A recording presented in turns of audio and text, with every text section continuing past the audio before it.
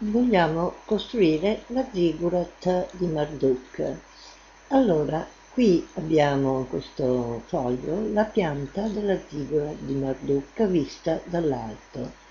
L'abbiamo disegnata di proporzioni minori di quella originale che era alta 90 metri. Questa sarà boh, decisamente più piccola.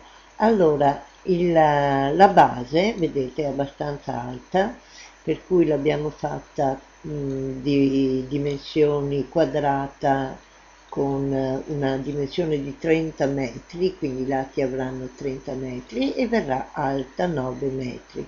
Il secondo piano invece sarà 26 metri, sempre a base quadrata, un parallelepipedo a base quadrata, alto 5 metri. Sono tutti parallelepipedi a base quadrata poi il terzo avrà 22 metri di base e 5 di altezza, il quarto 18 di base e 3 di altezza, il quinto 14 metri di base e 3 di altezza, il sesto 10 metri di base e 3 di altezza, l'ultimo il settimo 6 metri di base e 3 di altezza. Qui vediamo vista di fronte come si presenta. Allora e vista di fronte si presenta come eh, una serie di gradini, potremmo chiamarli uno sopra l'altro, di grandi gradini uno sopra l'altro.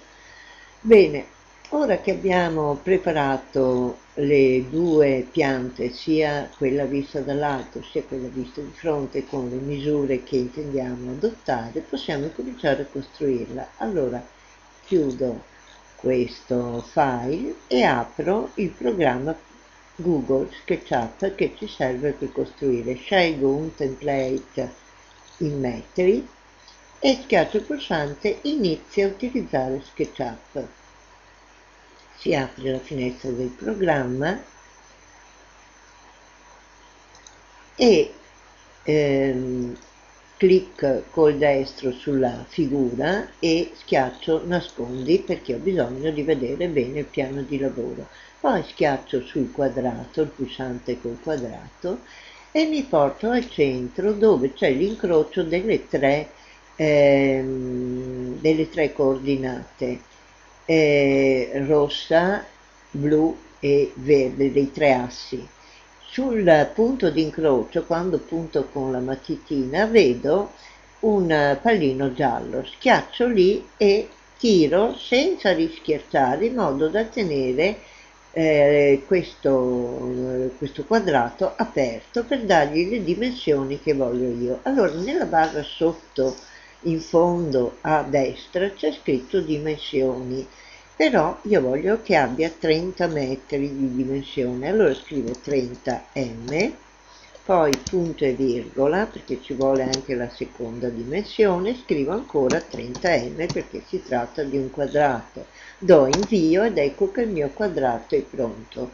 Adesso scrollando con la rotellina del mouse o utilizzando la lente di ingrandimento zoom schiacciando io posso rimpicciolire il mio quadrato. Poi con la mano lo piglio e lo trascino più al centro in modo da vederlo bene. Adesso schiaccio sul pulsante spingi e tira eccolo qui mi metto sopra il quadrato schiaccio e tiro un pochino su. Poi senza ricliccare tenendo aperta la costruzione vado a scrivere nella barra sotto a, nella stringa sotto a destra, che adesso ha preso il nome di distanza, scrivo 9m, cioè 9 metri, e do invio. Ed ecco che il mio primo piano è pronto.